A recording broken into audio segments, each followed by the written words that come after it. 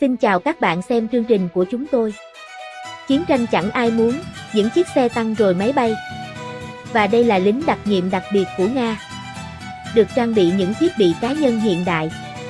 Miếng đệm nhỏ trên mông của họ có tác dụng gì? Chúng ta cùng tiếp tục theo dõi. Chiến binh đặc nhiệm.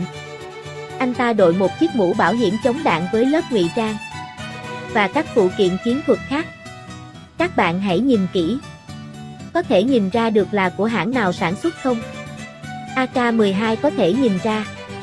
Nó có sự khác biệt lớn với các đơn vị chiến đấu thông thường. AK-12 không chỉ tăng cường chiến thuật và mục tiêu. Picatinny, Thanh phụ kiện chiến thuật gắn đèn chỉ thị đỏ trắng do công ty Nga sản xuất. Thiết bị này thường được dùng kết hợp với nhận thức để chỉ dẫn mục tiêu. Lực lượng quân đội cũng đã sơn lại khẩu AK-12 cổ điển này. Nâng cao tính thẩm mỹ. Vừa đẹp mắt lại vừa phù hợp hơn khi chiến đấu trong đô thị. Chiếc áo giáp chiến thuật chống đạn trên người anh ta được liên kết bằng nút tháo lắp chiến thuật. Thiết kế này không chỉ đẹp mắt, mà còn rất thịnh hành sử dụng trên thế giới. Phía trước áo giáp chiến thuật có gắn 3 băng đạn súng trường, một băng đạn súng ngắn, cùng với một con dao đa năng Thụy Sĩ. Túi đựng phía trước là vật dụng thường dùng trong chiến đấu thành phố. Đây là những trang bị tiêu chuẩn. Miếng đệm bảo vệ làm từ vải ba lô được thiết kế hình tam giác.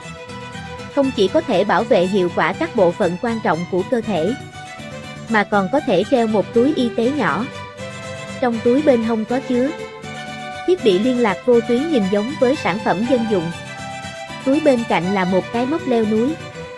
Tiếp theo là một túi dụng cụ nhỏ. Bên trong có la bàn, bút màu dùng để vẽ.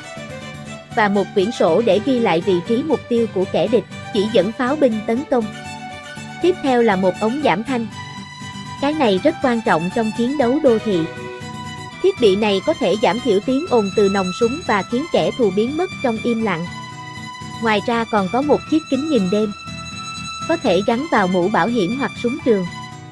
Thuận tiện cho việc tác chiến ban đêm. Tiếp theo là một quả lựu đạn nhiệt áp RGD-5. Loại lựu đạn này rất hữu ích trong chiến đấu đô thị. Khả năng nổ của nó có thể gây sát thương diện rộng. Sau khi nổ tạo ra vòng chân không. Chúng ta hãy cùng xem có những vật dụng gì trên thắt lưng chiến thuật. Trước tiên, hai bên thắt lưng vẫn là hai túi đựng lựu đạn. Sau đó là hai túi đựng đạn ở hai bên. Lực lượng đặc nhiệm của quân đội Nga. Phía sau thắt lưng là một khẩu súng ngắn MP40. Cỡ nòng 9mm. Loại súng này một băng đạn chứa được 10 viên đạn. Nỗi sợ thiếu hỏa lực. Phía sau thắt lưng là vị trí của túi y tế và túi đựng đồ. Vẫn là miếng đệm nhỏ trên mông. Có nhiều bạn nhỏ nói rằng đó là miếng chống đạn. Chống đạn cho mông. Thật ra đó chỉ là một miếng đệm đa năng. Các binh sĩ sẽ phải làm việc lâu dài trong điều kiện mưa tuyết. Do điều kiện chiến trường khắc nghiệt, các binh sĩ chỉ có thể nghỉ ngơi ngay trên chiến trường. Và miếng đệm này là tấm cách nhiệt chống thấm nước. Dù sao đi nữa, ngâm mình trong mưa tuyết lâu dài. Về nhà chắc chắn sẽ khó mà giải thích được. Chúng ta hãy cùng xem trong túi nhỏ trên thắt lưng chiến thuật. Có chứa những vật dụng gì, trong hai túi y tế phía trước và phía sau có chứa thuốc cầm máu, băng dính lớn, bật lửa và morphine dùng trong cấp cứu.